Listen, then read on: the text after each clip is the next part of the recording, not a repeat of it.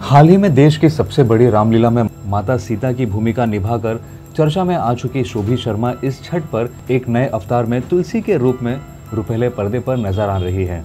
शोभी की फ़िल्म मुकद्दर इसी छठ पर बिहार में रिलीज़ हो रही है। शोभी शर्मा ने बताया कि मुकद्दर में वह एक दमदार कैमियो कर रही हैं। उनका ये कैमियो काफ़ी दमदार है। सुपरस्टार खेसारी लाल यादव, शमीम खान और काजल राघवानी के साथ वो काम करने के बाद काफ़ी ज़्यादा उत्साहित है। इस फ़िल्म की मुख्य भूमिका में खेसारी लाल नज़र आने वाले हैं, जो कि अपनी इस फ़िल्म को लेकर काफ़ी ज़्यादा उत्साहित है। शोभी ने बताया कि जब निर्देशक शेखर शर्मा ने उनके कैमियो का किरदार उन्हें बताया तो वो मना नहीं कर सकी। क्योंकि किरदार काफ़ी पावरफुल था। ट्रेलर में भी हम साफ़ देख सकते हैं कि किस तरह से शोभी की झलक हमें उनके किरदार की महत्वता का अंदाज दे रही है।